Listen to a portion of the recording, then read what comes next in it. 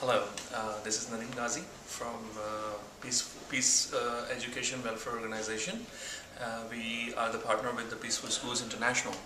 Uh, we have been working in Karachi uh, as a base setup for the promoting the peace education in Karachi and we have trained nearby to 100 schools in Karachi and all around the city to the underprivileged uh, schools and area and the conflict area of the Karachi. We have almost trained nearby 400 teachers for the peace education.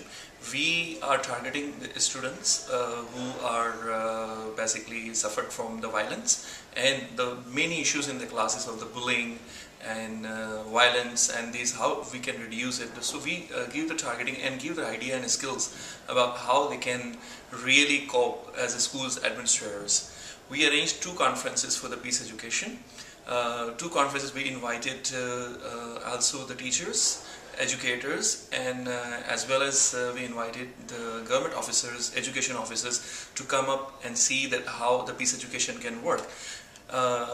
Uh, have been uh, trained uh, for the peace education from Canada uh, by the Dr. Hetty Van Gurp. She is the president of Peaceful Schools International and I witnessed uh, to the many schools how the peace education can work and is going on there. And this is what uh, we have made a some little Pakistani version of the peace education and we introduce it there.